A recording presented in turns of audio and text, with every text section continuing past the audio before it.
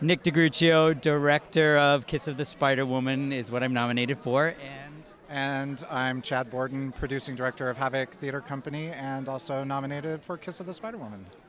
You guys were here last year, weren't you? yeah, Yeah, you won, didn't you? I did.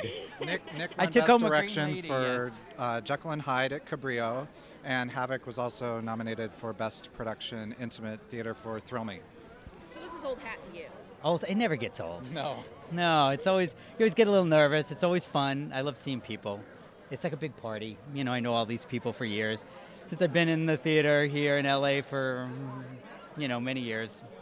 And what's special about the ovations from the, the other award celebrations? Uh, it's it's the peer base. I mean, it's all of our friends and family who are here celebrating all the work that we do throughout the year, and that just it's fantastic. It's so much fun. You guys are definitely the best dressed I've seen so far. so- Wow. Really, really? Hey, Very thank cutting you, figures. thank Yes, the you. shoes. Yes, check it. So good luck. Yeah, those shoes cost more than both our suits.